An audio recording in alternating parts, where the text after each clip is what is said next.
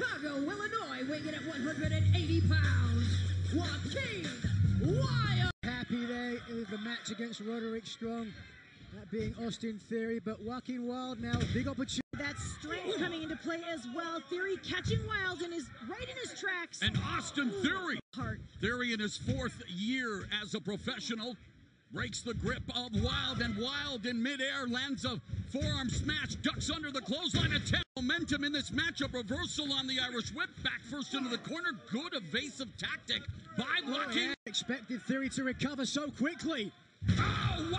Oh, wow, that could be it. Theory with his version of the TKO, and it proves to be a